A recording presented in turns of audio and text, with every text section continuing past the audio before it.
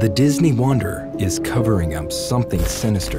Back in 2011, while working on board the Disney Wonder, 24 year old Rebecca Coriam suddenly vanished. At the time of her disappearance, Rebecca Coriam was working with children aboard the Disney Wonder cruise ship. En route to Puerto Vallarta, Mexico from Los Angeles, Coriam was last seen on the CCTV footage on March 22, 2011, at 5:45 a.m. in the crew lounge talking on an internal phone line, wearing men's clothing and acting visibly distressed. After that, she was never seen or heard from again. Disney has claimed that a rogue wave washed her overboard, but the evidence didn't sit right, and after more investigation, it turned out that the CCTV footage that was presented was cropped, and the slippers that Disney claimed to be hers actually belonged to another crew member. It was rumored that she could have been sexually assaulted and murdered, but with all the fake evidence that Disney presented in the investigation, many people believe that.